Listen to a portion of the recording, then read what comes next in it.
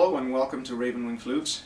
Uh, today we're going to talk about uh, the flutes and uh, we're going to have our first lesson on how to play the Native American flute. Um, a couple of things that I need to bring to your attention first.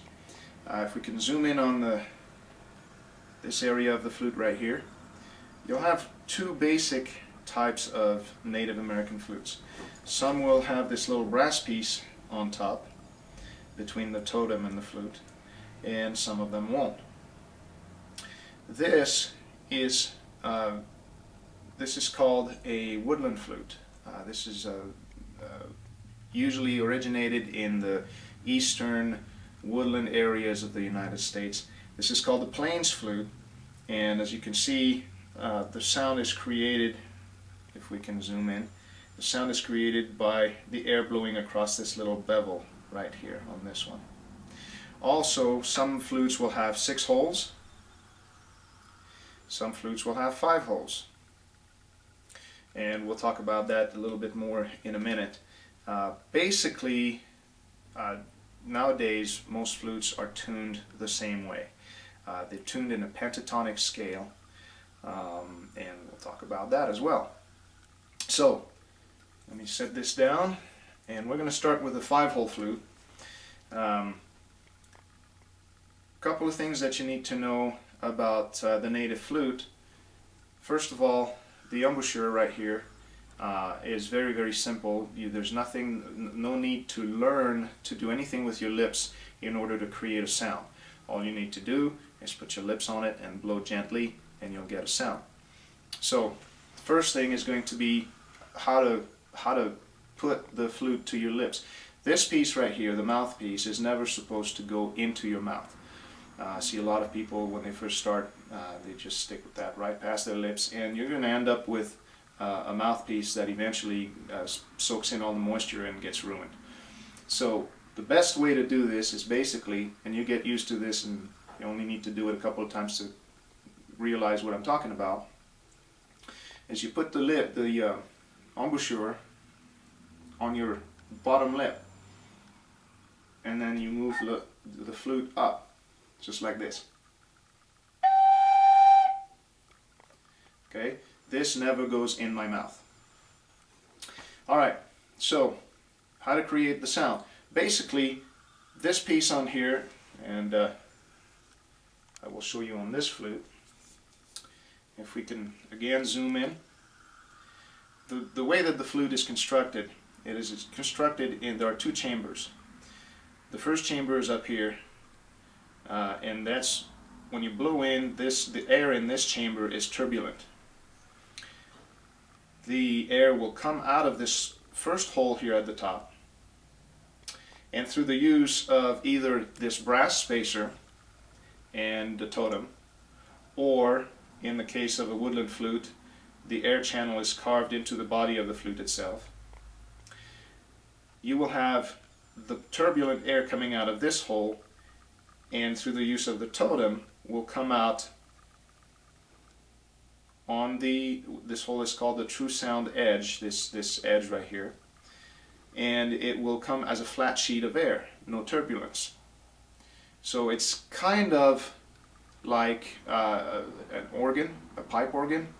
Uh, it's it's sort of the same system. So you never have to worry about having to learn to do something like the silver flute where you have to stretch your lips and, and learn how to create a sound with your lips. Okay? So, let's go back to this. Once you have figured out where to place the flute on your lip, you're going to want to learn to make sounds. You're going to want to make sure that all of the holes are covered and you need to do this not with the tip of your fingers, but with the fat part of your finger, the, the pad. Okay, so we, we basically play flat fingered. Okay. Now some people find it easy enough to cover all the holes and create a good sound with that. For some people that's a little more difficult, in which case I will counsel you to start with just covering one hole at a time.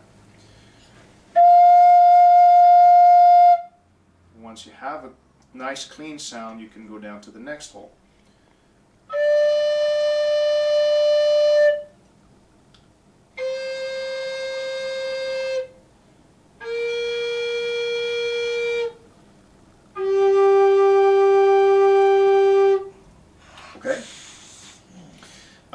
Couple of things about how you're going to want to hold the flute. You do not want to hold the flute next to your body with your arms tied in. Okay, that requires you to dip your head. The the flow of air is not coming, is not going to come out clean, and you're going to get tired very easily.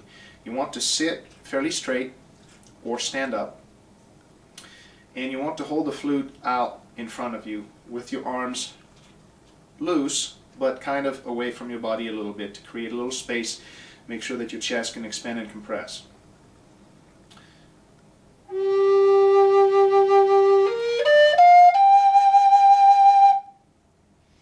Okay? If you hear any squeaking sounds, like so, that usually means that you're either blowing too hard or one of the holes is not completely covered.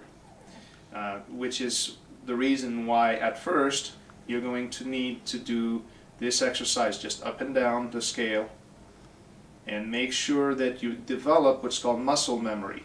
Eventually, if you've played an instrument, you already know about this. If you haven't, uh, it's basically you're training your fingers to be in a certain position and remember that position.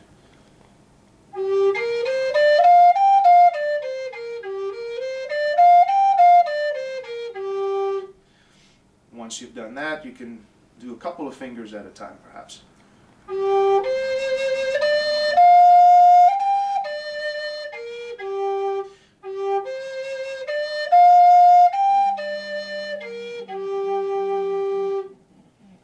have to excuse my dog. She's trained to sing when I play. Um, so, sit straight, the flute slightly in front of you, elbows nice and loose and a little bit away from your body.